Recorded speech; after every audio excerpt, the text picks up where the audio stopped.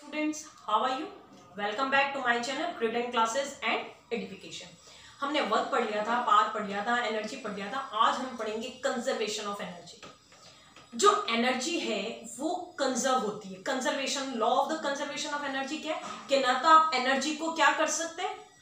Produce कर सकते हैं और नहीं आप उसको डिस्ट्रॉय कर सकते, सिर्फ़ एक फॉर्म से दूसरे फॉर्म में बदल जाती है। इसको आज छोटे से प्रूफ करने की कोशिश करते हैं। हम यहाँ एक कंडीशन तो सीधा आ जाता है टॉपिक पे law of the conservation of energy हम कंजर्व होता है law of conservation of energy इसमें क्या होगा कि जो टोटल एनर्जी अगर अपन मैकेनिकल एनर्जी की बात करें, जो दो तरह की काइनेटिक एनर्जी और पोटेंशियल एनर्जी यानी टोटल एनर्जी किसके सम की इक्वल होगी? Kinetic energy plus potential energy आज इसी को प्रूफ करने की कोशिश करते हैं कि हर पॉइंट पे, हर जगह पे दोनों ही एनर्जी का सम क्या रहता है? इक्वल रहता है. हम मान लेते हैं कि ये सरफेस है ग्राउंड सरफेस है अर्थ का सरफेस है. इस सरफेस पे यहाँ पे एक बॉल पड़ी है.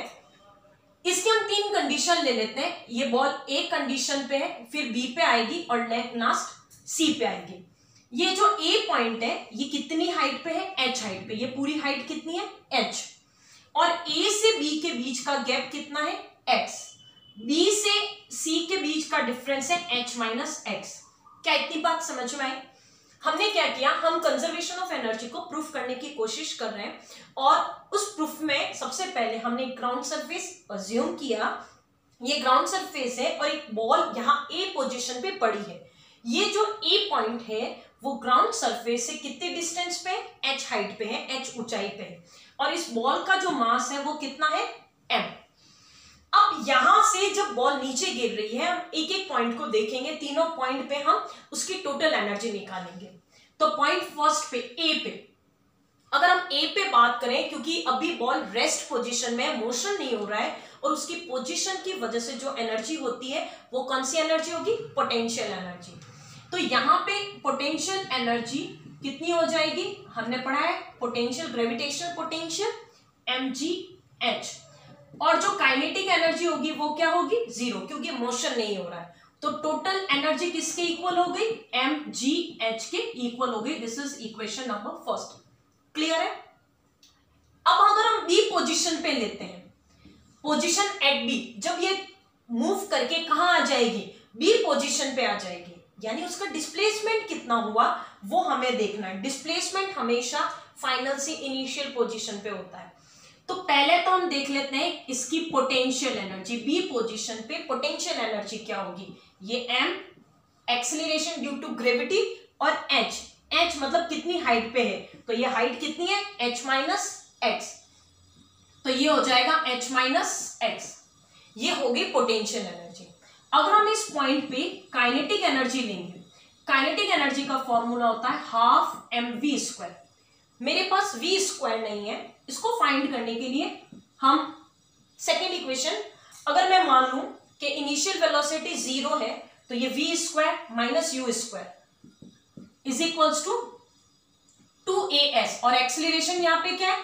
जी यहाँ जो यू स्क्वायर है, वो हो गया ज़ीरो क्योंकि इनिशियल वेलोसिटी ज़ीरो यानी वी स्क्वायर किसके इक्वल हो गया?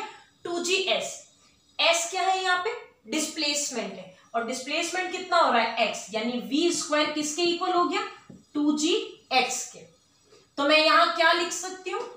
काइनेटिक एनर्जी क्या हो जाएगा? हाफ़ एम वी स्क्वायर की जगह पे हो गया टू जी एक्स अगर हम टोटल एनर्जी देखें तो total energy potential energy plus kinetic energy तो ये हो जाएगा M G H minus X plus M G और ये टू से टू गया तो एम जी एक्स ओपन किया M G H minus M G X plus M G X ये minus plus cancel M G H यानी potential total energy यहाँ पे भी कितनी आ रही है? M G H point A पे भी कितनी थी? एम जी एच अब हम पॉइंट सी पे देख लेते हैं। तो पॉइंट सी पे आप देखिए, मैं यहाँ ऊपर कर रही हूँ। अब यहाँ पे, क्योंकि ऑब्जेक्ट ने अपनी पूरी कितनी पार्ट ट्रेवल कर लिया? पूरी हाइट के इक्वल कर लिया। यानी यहाँ पे पॉइंट सी पे काइनेटिक एनर्जी क्या होगी? हाफ़ एम वी स्क्वायर और यहाँ हाफ़ एम ये देखो V equals to two A S है ना? तो एक्सेलरेशन क्या हो गया? टू जी तो ये मैंने लिखा टू जी और पूरा डिस्प्लेसमेंट टू जी एच तो टू से टू गया काइनेटिक एनर्जी हो गई एम जी एच और पॉइंट सी पे, क्योंकि हाइट ज़ीरो हो गई है पूरा ग्राउंड पे आ गया है तो पोटेंशियल एनर्जी ज़ीरो यानी ओवरऑल एनर्जी कितनी हो जाएगी? एम जी एच हो जाएगी. तो हमने देखा कि ए पॉइंट पे बी पॉइंट पे सी पॉइंट पे टोटल एनर्जी यानी सम एनर्जी का सम क्या है? सिमिलर आ रहा है कांस्टेंट आ रहा है. और यही law of the conservation of energy है. तो इसको हम इस तरह से डिराइव कर सकते हैं. नेक्स्ट वीडियो में हम न्यूमेरिकल्स करेंगे. तो आप इतना पढ़ के रखिए, तब आपको आसानी से समझ में आएगा. Have a nice day bye